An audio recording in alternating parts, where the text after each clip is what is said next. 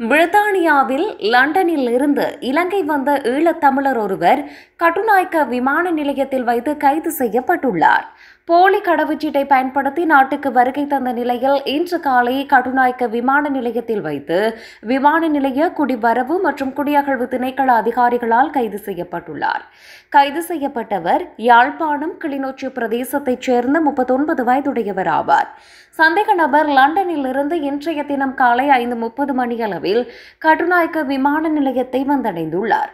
இதன்போது விமான நிலைய அதிகாரிகளால் மேற்கொள்ளப்பட்ட சோதனையில் சந்தேக நபர் கொண்டு வந்த கடவுச்சீட்டு போலியானது என தெரிய வந்துள்ளது சந்தேக நபர் கடந்த இரண்டாயிரத்து நான்காம் ஆண்டு சட்டவிரோதமாக மன்னாரிலிருந்து படகு மூலம் இந்தியாவுக்கு தப்பிச் சென்று பின்னர் அங்கிருந்து போலி கடவுச்சீட்டை பயன்படுத்தி பிரித்தானியாவுக்கு தப்பிச் சென்று தலைமறைவாக இருந்துள்ளதாக விசாரணைகளில் தெரிய வந்துள்ளது இது தொடர்பான மேலதிக விசாரணைகளை விமான நிலைய குடிவரவு மற்றும் குடியகழ்வு திணைக்கள அதிகாரிகள் மேற்கொண்டு வருகின்றனர்.